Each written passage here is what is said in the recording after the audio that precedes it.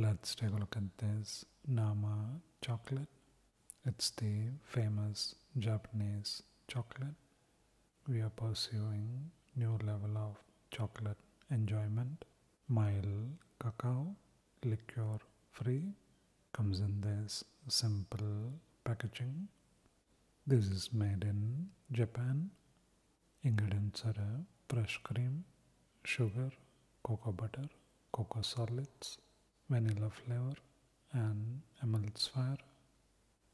Contains added artificial flavoring substance vanilla. This is made in Hokkaido, Japan. So let's taste it. That's how the iconic chocolate looks. Let's taste it. Such an amazing chocolate flavor with a hint of bitterness, mild sweetness. So decadent though. Packs in so much flavor. that some decadent chocolate. So creamy and smooth. Quite nice. Check it out.